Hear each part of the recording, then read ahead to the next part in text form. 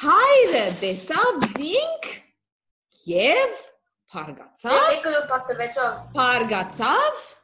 քնա այստեղ է նսավ, նայեցեք ձերքի ինչպես։ Քնա այստեղ է նսավ, անարակ զավակ, տեղ չունիս այս տան մեջ, քու ուրածդ քիչ էր արդեն, թեր ինչ երեսով ետ դու վերակառնաս։ Եվ փարգուտենեն զայրութեն հայրը վրան փարգացավ։ Ճիշտ է պատմածս թե ոչ։ Այո, այդի։ Վստահ, վստահ։ Իմ ցեզի հարցնելիք։ Հայրը իրավունք չուներ զինք վրընդելու։ Յավուներ։ Այո, ունի, բայց բայց չրա, քանի որ ինքը իր հայրն է, այսինքն գները։ Եվ որ ինքը սկաց որ իր դղան ասիկ գիտակցած իր սխալը։